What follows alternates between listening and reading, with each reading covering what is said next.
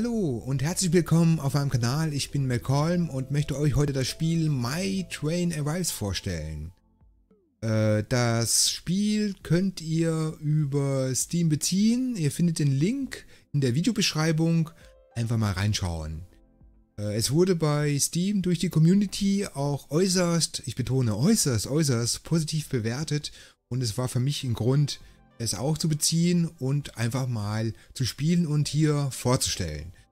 In der Videobeschreibung vom Spielehersteller habe ich gesehen, dass man wohl vier verschiedene Modi spielen kann. Und zwar ist das, wir gehen gleich mal direkt auf Spielen. Ähm, genau, Kampagne, Überleben, Evakuierung und Spannung. Das sind verschiedene Spielmodi, die einmal wohl zeitbegrenzt sind und andere Herausforderungen beinhalten. Ich bin jetzt für das entspannte Spiel, denn man hat einfach Zeit, um das Spiel vielleicht erstmal kennenzulernen und mal rauszufinden, wie dann die einzelnen Funktionen sind, um den Streckenbau zu bewältigen mit Gleisen, wie man vielleicht die einzelnen ähm, Züge und Waggons positioniert. Aus dem Grund Entspannung will ich hier und starten. Ja, hier kommt auch schon ein Tipp. Äh, Im Entspannungsmodus gibt es keine bestimmte Aufgabe. Okay. Passagiere und Fracht erscheinen auf den Stationen nur dann, wenn sie eine Route durch diese Station erstellen. Okay, ja, werden wir dann sehen. Also das ist die allgemeine Beschreibung. Entspannungsspiel, was sind die Ziele? Spielen und entspannen. Genau, spielen und sich dabei entspannen. Das sind die Ziele. Die werden wir hier auch erreichen. Davon bin ich überzeugt, ja. Erstellen Sie, eine, äh, erstellen Sie ein Verkehrssystem in der Stadt und beobachten Sie die Beförderung von Passagieren und Fracht. Alle Stationen sind von Anfang an geöffnet. Passagiere und Fracht werden auf den Stationen angezeigt, wenn Sie eine Route durch diese Station erstellen. Okay. Hotkeys?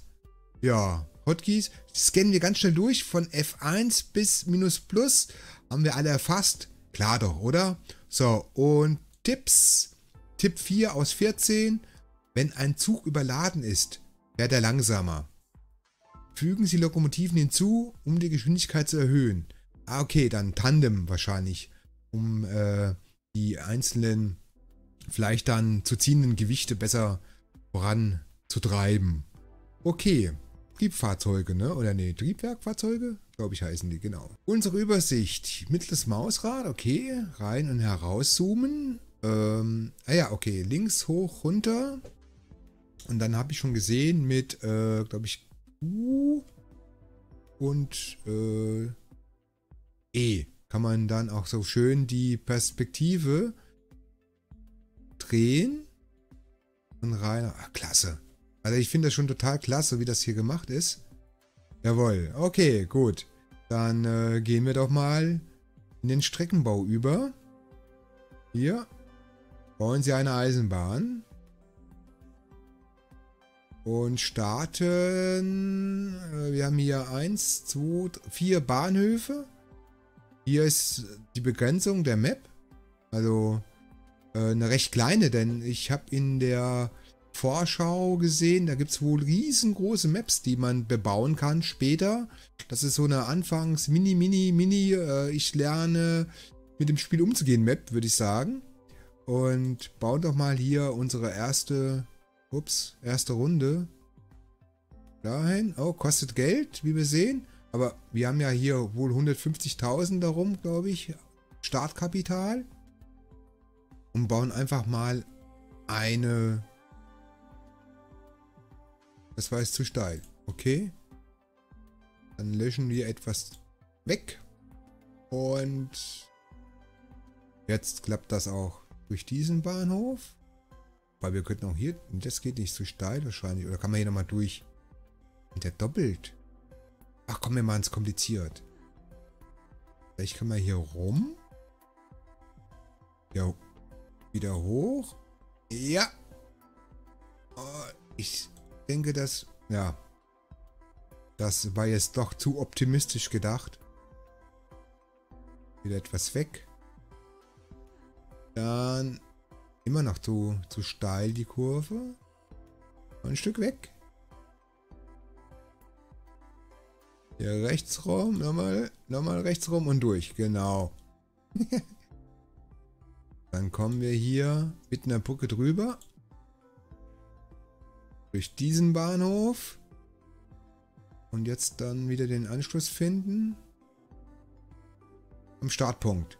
Damit haben wir doch eine Runde und ja, alle Bahnhöfe miteinander verbunden. Okay, dann die Strecke hier. Oder die Route vielmehr. Routeplan.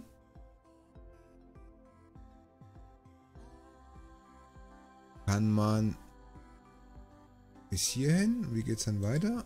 Okay. Auch eine Vollrunde. Eine neue Route wird erstellt. Okay. Läuft. Klasse. Dann haben wir hier Zugeditor. Lokomotive, Lokomotive, unterschiedliche Preise, äh, unterschiedliche Geschwindigkeiten und die Antriebsleistung. Ja, die ist entscheidend. Ich, ich vermute hier die für einen Gütertransport 1500 Leistung. Ob es nun PS sind äh, oder Kilowatt, steht nicht dabei. Hier fehlt die Einheit. Und bei Geschwindigkeiten auch. Also ob das nun kmh oder Miles per Hour oder Würstchen sind. Keine, keine Ahnung. Könnte man ja vielleicht mal dran schreiben. Okay, gut. Ähm, wir nehmen Mittel, eine mittlere. Äh, ich entscheide mich für die Lokomotive. Stellen wir mal aufs, aufs Gleis, auf unsere Route. Waggons. Auch hier identisch, ja. Okay. Gewichtsunterschiede und Geschwindigkeitsunterschiede. Und natürlich, ach genau, äh, Pers Personenbeförderung 8, 6, 8, 3 km/h dann. Ich gehe mal von aus 10 km/h. Ähm, nehmen wir doch den Waggon. Hängen wir mal dran. 1, 2, 3, 4, 5, 6, 7, 8 Stück. 8 sollte reichen. Okay, und dann äh, weiterspielen. Ja, da fährt schon unsere erste Lok mit acht Personenwaggons auf unsere äh, nee, zu, äh, auf den ersten Bahnhof zu mit neun potenziellen Passagieren, die hier warten. Zwölf. Um mitfahren zu dürfen. ja, sehr niedlich. Oh, Moment. Das klappt doch nicht so richtig so. Zusammenspiel zwischen Map drehen und reinzoomen und rauszoomen. Ah, das kriege ich aber noch raus. Okay. Damit man es mal schön sieht. Ja, wie weit kann ich eigentlich reinzoomen? Ne, weiter geht nicht. Also weiter kann ich nicht reinzoomen. Und äh, man stellt fest, hier gibt es kein, kein, kein Geräusch. Also kein Waggon, kein Waggonrattern oder vorne von der Lokomotive irgendwie ein Antriebsgeräusch, aber Background. Musik. Entspannungsmusik. Ja. Sehr entspannt. Sehr entspannt. also ich muss ehrlich sagen, mich begeistert das Spiel. Warum?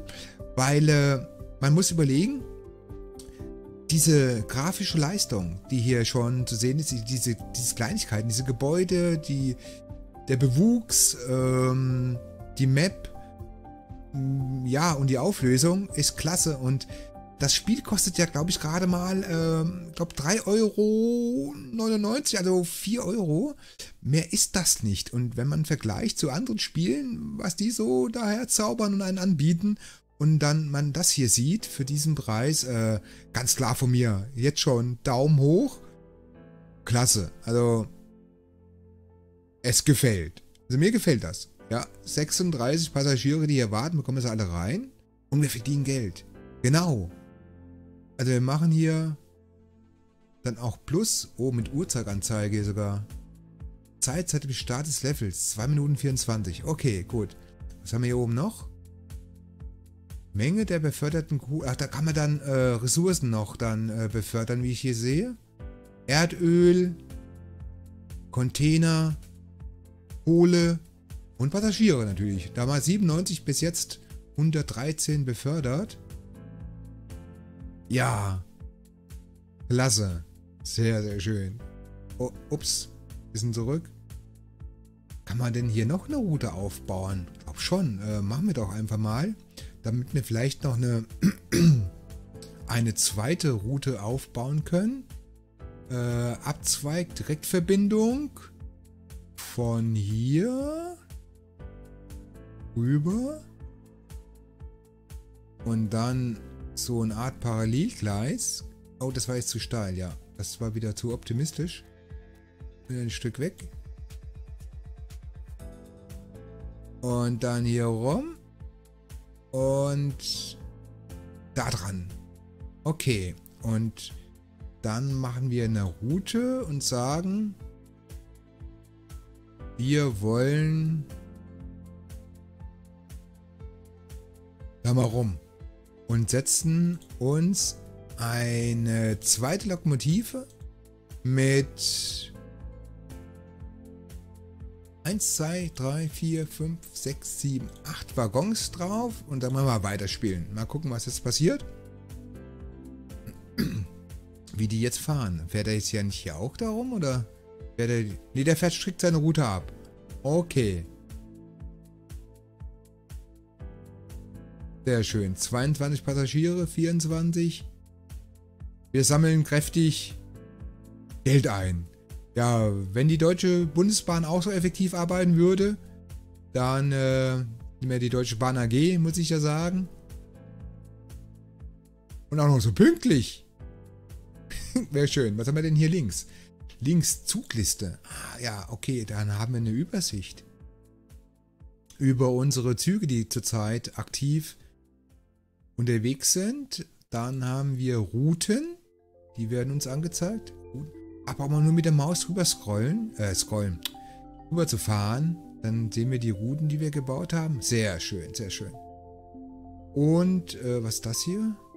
Ach, unsere Station. Und wie viele Passagiere da wohl jetzt äh, zu befördern sind und warten. Weil das geht ganz schön schnell. Hier warten schon wieder 36. Da müsste man also dann wohl nochmal einen Zug bereitstellen oder verlängern, aber da wird es ja zu, zu lang, ne? Äh, ich versuche mal folgendes. Ich setze einfach nochmal einen Zug auf diese Route drauf mit 1, 2, 3, 4, 5, 6, 7, 8 Waggons. Dann werden die bestimmt dann rechtzeitig abgeholt. Und diesmal in Rot. Aber ich glaube, ich habe hier was gesehen. Genau hier war das. Also hier kann man ähm, Lokomotiven und Waggon, Waggons äh, in der Zugrichtung drehen. Und hier gibt es wohl Farben, die man vergeben kann. Momentan haben wir zufällige Farben, die wir für die Züge auswählen. Äh, was wird mir denn gefallen? Äh, was nehme ich denn? Äh, das hier passt vielleicht ganz gut. Wie geht das dann? Ah, okay. Die kann man dann auch sehr niedlich. Direkt anklicken und die Farben verteilen. Jawohl. Sehr, sehr schön. Okay. Und weiter geht's.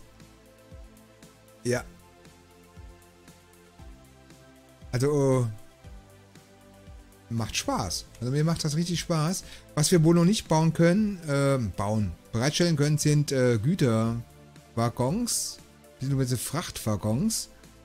Die sind hier noch nicht ähm, in der Auswahl. Vermute, da muss man vielleicht eine gewisse Anzahl vielleicht an Passagieren erstmal befördern oder kann man hier noch... Ach, hier ist noch was. Was ist das? Upgrades. Ach, hier kann man dann upgraden. Okay. Dazu muss ich aber... Ah, steht, ne? Level erstmal abschließen. Am Anfang haben wir die ja gesehen, am Spielbeginn diese Level, die durchgespielt werden müssen. Okay, ja, dann sage ich mal erstmal vielen, vielen Dank fürs Zuschauen. Wem das gefallen hat, hinterlässt mir bitte ein Like oder einen Kommentar und natürlich freue ich mich über jeden neuen Abonnenten. Wir sehen uns im zweiten Teil und äh, bis dann. Tschüss.